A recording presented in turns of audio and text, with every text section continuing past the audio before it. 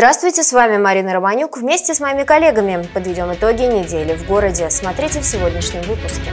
Мозговым штурмом на первом региональном штабе по поддержанию экономической стабильности Николай Любимов выслушал предложение бизнес-элиты. Ямочный ремонт в разгаре. На улицах города ликвидируют самые проблемные участки. Неизвестные полотна Репина, Саврасова, Тропинина в художественном музее презентовали выставку из фондов Курской картинной галереи.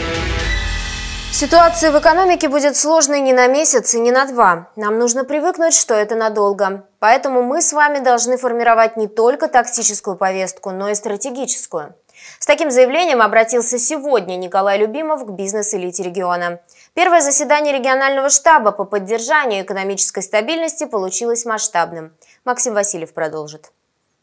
Время эффективных решений – это не просто форум ради форума. В Большом зале Академии Единобор собрали всю бизнес-элиту региона. Аграриев, строителей, промышленников, в общем, опоры экономики Рязанской области. Обращаясь к бизнесу, Николай Любимов был откровенен. Трудности – это надолго. Ситуация сложная, контролируемая. У нас сейчас все механизмы э, в руках для того, чтобы обеспечить нам реально развитие и э, экономику оставить стабильной. Вот это очень важно. Поэтому мы готовы выслушать любые предложения. Мы сейчас, особенно сейчас, все должны объединиться и не считать э, друг друга по группам. Никакой сегрегации однозначно. Мы, они, все мы. Издалека это было похоже на масштабный брейн-ринг. 15 ярко подсвеченных тематических столов, за каждым бурное обсуждение, своеобразный мозговой штурм. Потому что именно эти люди знают, как им спасти свое дело в нынешних условиях. Власти поддержат категорически. И, полагаясь на пандемический опыт, для бизнеса снова сделали преференции. Даже больше. Мы сейчас максимально обнулили все наши налоговые ставки.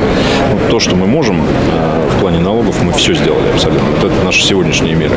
Э, плюс плюс приняли решения, э, которые ну, особенно сейчас бизнесу нужны. То есть это не только налоговые льготы, это не только административная поддержка здесь. Мы тоже предприняли ряд усилий. Федеральные э, органы власти тоже объявили об этом. Ну, президент, в первую очередь, он сказал о об остановке проверок бизнеса. Мы э, даем предприятиям э, деньги конкретно, которые им сейчас очень нужны на пополнение оборотных средств. То есть просто кому-то надо за кредит заплатить, который он уже до этого взял.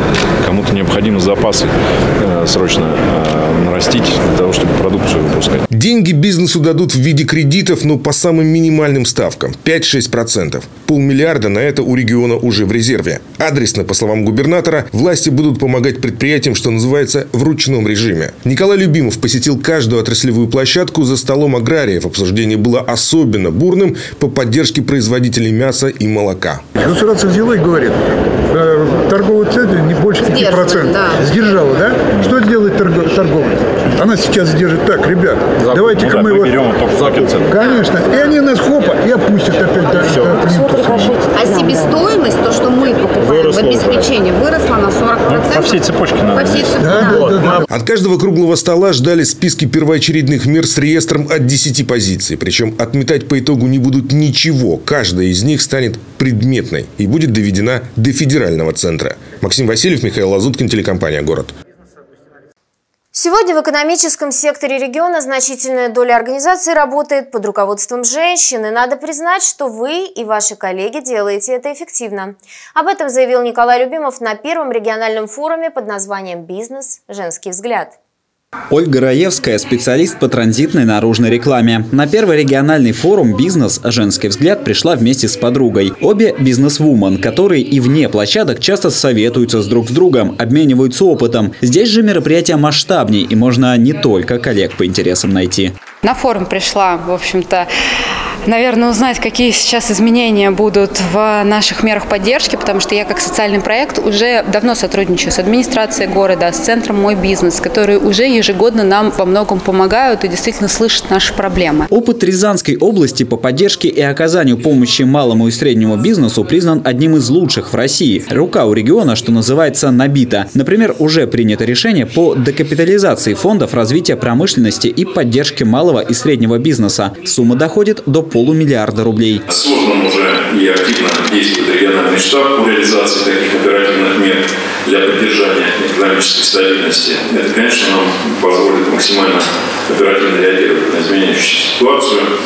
качественно работать по пакету антикризисных мер, который уже на федеральном уровне в оперативном порядке был. Форум «Бизнес. Женский взгляд» в регионе впервые. Давно известно, что в Рязани наряду с бизнесменами есть и бизнес-вумен. И проекты идут практически параллельно. Направленность просто разная. Поддержка слабому полу такая же, как и сильному. Исключений нет. В 2022 году э, в целях снижения нагрузки на бизнес по поручению губернатора Рязанской области э, были разработаны следующие меры сниженные ставки налога на имущество организации в отношении объектов, облагаемых от кадастровой стоимости с полутора процентов до одного процента для организаций, применяющих упрощенную систему налогообложения – до 0,8 для организации потребительской кооперации.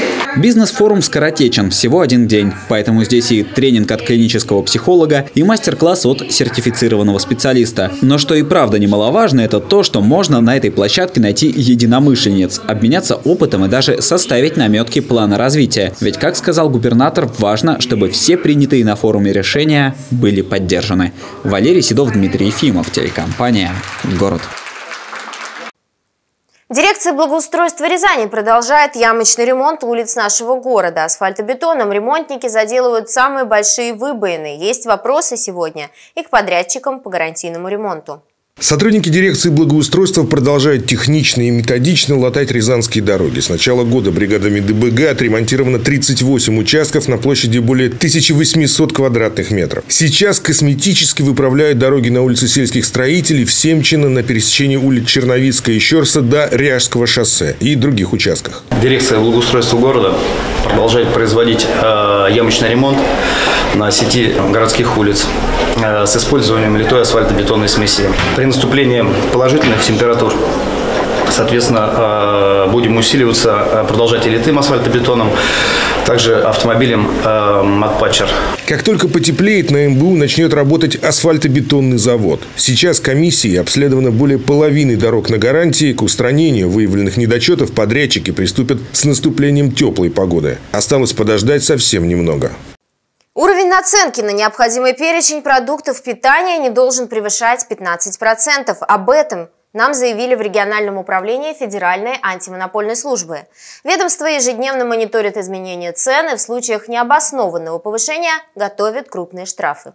Рост цен на базовый набор, молоко, сахар и подсолнечное масло Федеральная антимонопольная служба взяла под особый контроль. Ведомство ежедневно мониторит динамику на социально значимые продукты. В начале года по инициативе Федеральной антимонопольной службы крупнейшие федеральные торговые сети а, на территории Рязанской области достаточно а, большое количество торговых объектов представлены сетями «Магнит» и «Пятерочка» взяли на себя добровольные обязательства и ограничили собственные розничные торговые наценки.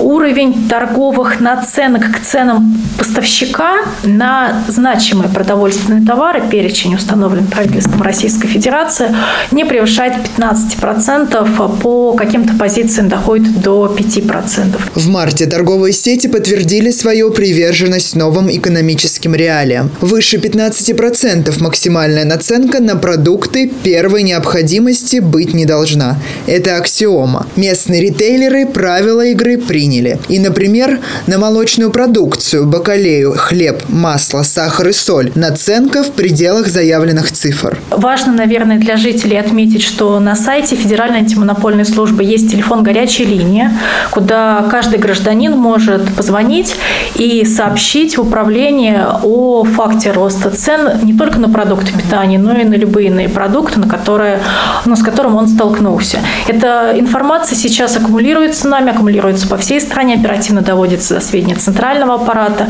и она позволит нам более оперативно принять меры реагирования и представлять о, о том, какая текущая ситуация складывается на продовольственных товарных рынках. Если вас что-то возмущает, жалуйтесь. Обращения в антимонопольном ведомстве ждут на электронной почте. Каждый сигнал от граждан проверяют контрольными закупками ошибками и в случае вопиющего нарушения обещают меры принимать незамедлительно. Герман Гущин, Дмитрий Ефимов, телекомпания «Город».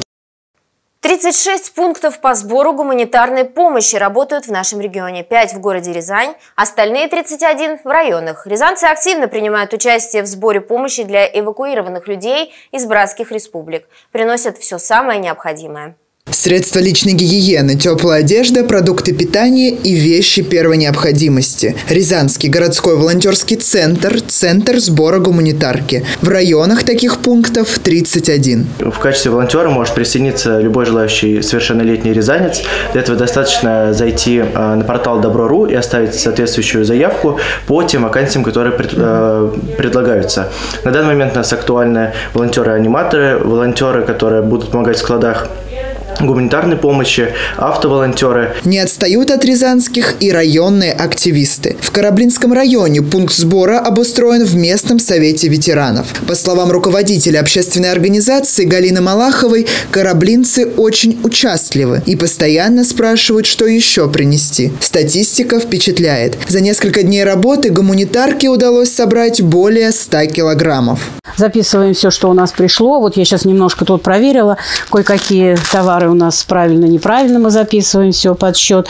А, приносят люди все. Пожалуйста, приносите еще, потому что а, людям действительно тяжело. Люди нуждаются в этом во всем. И в постельном белье, и в туалетной даже бумаге, и в ночные сорочки вот у нас приносят, и для женщин, и для мужчин. А вот в Михайлове пункт сбора гуманитарной помощи открыли в школе. Теперь это место повышенной активности. Пришла поддержать, оказать поддержку, помощь людям, оказавшимся в беде. А, принесла гуманитарную помощь э, и хочу всех призвать поддерживать этих людей, потому что все мы люди, и э, сейчас на данный момент поддержать именно тех людей, которые оказались в такой ситуации. В Скопине активное участие в сборе вещей принимают школьники. Принимают, кстати, не только констовары, игрушки, но и ручные поделки. В основном активность проявляет у нас наши жители нашего города. Много вопросов задаются, а почему новое? А потому что соблюдаем санитарную безопасность. Вот э, не открытые пакеты, все упаковано. Очень сейчас идет активный сбор в школах. Вторая школа принесла нам канцтоваров очень много, но я знаю, что по школам еще идут сборы. В Рязанской области в пунктах временного размещения сегодня порядка 700 беженцев из народных республик ДНР и ЛНР. Все собранные вещи оперативно уходят тем, кто нуждается, по мере необходимости. 7 марта начался Великий пост, самый продолжительный – 40 дней и самый важный для православных. Наша съемочная группа встретилась со священнослужителем, который рассказал все тонкости. Пост – это не столько про воздержание в пище, сколько про воздержание в своих желаниях. Вернее, как рассказал протеерей Арсений Вилков, к этому надо подходить с осторожностью. Здесь подойдет сравнение с тренажерным залом, когда новичок приходит и сразу хватается за большой вес. Поэтому и нужен своеобразный тренер, духовник, который даст совет, как лучше подойти к посту и в чем себя ограничивать. Ограничения в еде, как и любые другие ограничения телесные, они необходимы как средство для того, чтобы дать возможность действовать душе. Потому что все время нашей жизни мы, как правило, слышим только потребности тела. И эти потребности заглушают мольбы к нам души, просьбы ее о том, что она хочет, что ей хотелось бы, что ей полезно. А тело над нами давлеет, над нашей личностью, хотя, хотя человек состоит из души и тела, эти две, две равноправных части его, начала человеческой личности. И вот в пост мы стараемся тело ограничить именно для того, чтобы оно не давлело над душой. Максимально воздерживаться в пище не стоит. Традиционно это устав для монастырей. Обычным мирянам жить по другому уставу будет непросто. В пост человек должен себя ограничивать и э, относительно чего-то другого, ну, в частности, развлечений. Сейчас нас окружает очень много развлечений, развлекательных мероприятий, э, очень много шума информационного, который вокруг нас. И этот шум, он поглощает э, голос души и душу не слышно. Ей плохо, она болит, ей требуется помощь, духовная помощь. Но человек боится этого голоса и боится той боли, которая у него внутри. Поэтому он старается ее этим мусором информационным засыпать. Сейчас идет первая неделя поста, первая седмица Великой Четыредесятницы. По уставу она строже других. В эти дни церковь делает максимальный акцент на теме покаяния. Подробнее в передаче «Городские встречи», которая выйдет в самое ближайшее время. Валерий Седов, Михаил Лазуткин, телекомпания «Город».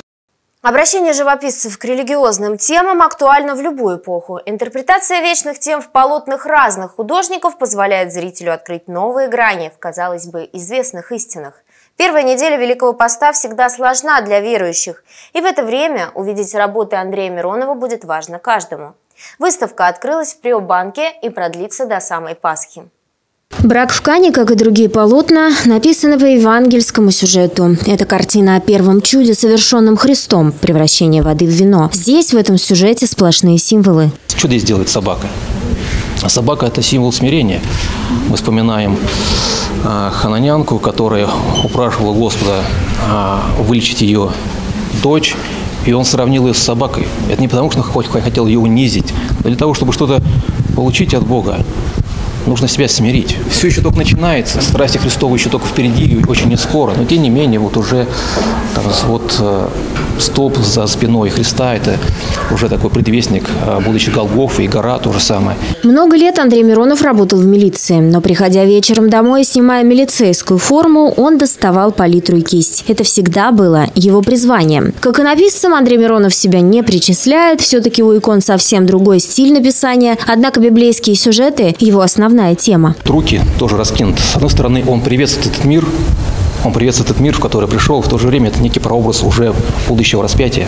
Кстати говоря, здесь э, вот внимательный зритель, да, он э, Здесь животных не два, а три. Если внимательно посмотреть, то можно найти еще божью коровку, которая тоже выползла, и, и и тоже она вот интересно вот, и посмотреть на своего создателя. Говорит, что творчество его вызывает разное мнение у созерцателей. Наверное, именно в разнообразии мнений как раз и заключается смысл искусства. Главное, что никто не остается равнодушным. Марина Романюк, Михаил Лазуткин, телекомпания «Город». Репин, Гея, Иванов, Тропинин – именно этих мастеров русской живописи знакомы даже тем, кто от искусства далек. Шедевры их кисти изучены и рассмотрены до мельчайших деталей, а вот познакомиться с теми полотнами, что редко являются глазу зрителя, потому что хранятся в фондах большое счастье. Шедевральные образцы живописи XVIII-XIX веков приехали в художественный музей из фондов Курской государственной картинной галереи имени Дайнеки. Саврасов, фамилию этого художника, каждый из нас помнит с пятого класса. Тогда по школьной программе мы писали сочинения по картине «Грачи прилетели», самому известному произведению мастера. Простота пейзажа и кажущаяся невзрачность выбранного для изображения времени года, но при этом ощутимая радость едва пришедшей весны. Лишь повзрослев можно понять, в чем именно гениальность живописца. На выставке из Курска есть полотно кисти Алексея Саврасова, и оно притягивает взгляд. Несмотря на то, что не так известно известна как «Нашумевшие грачи». Виктор Грушиновицкий, например, признался, что еще не прочитав, кто автор картины, задержался возле нее, отошел, а затем вернулся, заинтересованный чем-то. Фондовские вещи показываются не так часто, и каждый музей всегда с удовольствием берет такую выставку на которой можно поразмышлять и узнать что-то новое.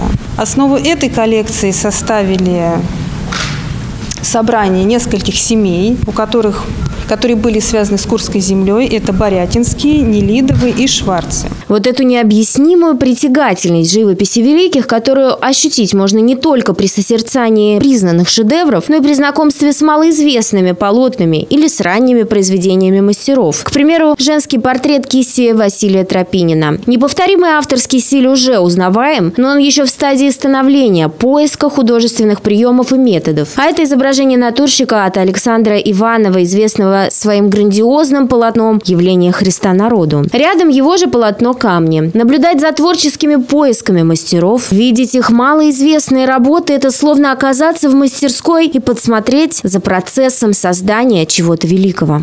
Были каноны в портретах, были какие-то определенные условности, которым следовали и живописцы, и иконописцы. Вот. Но здесь, на этой выставке, я вот именно увидел, пожалуй, я бы так выразил, какую-то грань э, дозволенного, которую начали наиболее ли, э, личностно такие сильные художники преодолевать, переходить какие-то границы, но в творчестве. Не меньше интерес у зрителей могут вызвать полотна на библейские и исторические темы. Мы попадаем в галерею ярких национальных типажей, образов русской природы, жанровых сцен из жизни разных сословий, классические для эпохи, парадные портреты. Портреты вообще являются ну, значительной частью этой выставки это такие известные исторические персонажи, как мать Петра I, Наталья Кирилловна Нарышкина, великая княгиня Мария Федоровна, великий князь Павел, ой, Константин Павлович Романов, сын Марии Федоровны. Вообще этот портрет вызвал у нас некоторые вопросы, потому что сам он называется «Портрет царевича». Но тем не менее, выяснилось, что это все-таки великий князь Константин Павлович. То есть это такой портрет-загадка. Одновременно с этой уникальной выставкой в Курске работает выставка из собрания Рязанского художественного музея. Это первый опыт взаимодействия галерей. Но сотрудники нашего музея, к которым присоединятся, пожалуй, все любители искусства, выражают надежду на то, что следующий проект, а он обязательно будет, станет поводом привести в Рязань богатое собрание произведений Дейнеки, хранимое в Курске. Марина Романюк, Михаил Михаил Лазуткин, телекомпания «Город». Запас витаминов и минералов в период наступления весны полезен любому человеку, и те питательные вещества, которых многим из нас не хватает, содержатся в морской рыбе. Рязанцам в этом году повезло. В городе до субботы действует выставка продажа «Икра и рыба камчатская». От Кишича до Зубатки и от Томоля до Чевыча. В прибрежных водах Камчатки местные рыбаки ведут промысел десятка видов тихоокеанской фауны. И к рязанскому столу доставляют самые свежие экземпляры, включая редкие для искушенного ценителя виды – чевычу или белорыбицу. По телевизору видела рекламу и решила рыбку купить. Красная чавычу филе хочу взять и икру. Прошлый приезд был их, я покупал их и красную икру, и рыбу красную, и белую красную. Нас всех удовлетворило. Я покупала здесь рыбу. Очень вкусные, хорошие, свежайшие. Я советую всем купить. Я брала белорыбицу, палтус и чевичи. Красную икру гурманы ценят за неповторимый вкус, а диетологи за ее полезные свойства. Ведь в ней фолиевая кислота, йод, калий, железо и еще с десяток важных для жизни микроэлементов. Все они положительно влияют на работу головного мозга и нервной системы. Чтобы сохранить максимум всех ценных качеств, говорят, на Камчатке засаливают икру прямо на судне, сразу после добычи. Рыба вся свежая, тоже едим с удовольствием, всей семьей. Покупаю себе и дочери, и родителям. Будет день рождения у дочери, обязательно куплю. Так что с удовольствием покупаю эту рыбу. Чувычу купила, белорыбицу купила, икру. Хорошо, ребят, торгуют быстро, и вкусно. А что брали, если не секрет, прошлый раз? Икру, белорыбицу и красную рыбу, по-моему, двух видов. О пользе морепродуктов можно говорить долго. Рыба – настоящий концентрат витаминов В и D, а также минералов. Познакомиться с дарами Тихого океана рязанцы могут до субботы включительно у торгового центра «Премьер» рядом с центральным входом. Герман Гущин, Михаил Лазуткин, телекомпания «Город». На этом у меня все. Смотрите нас в социальных сетях и на сайте город62.тв. До свидания. Рязань, встречай! Свежий улов прямо с Камчатки. Чавыча, красная икра, белорыбица. Все от производителя. С 7 по 12 марта. ТЦ «Премьер».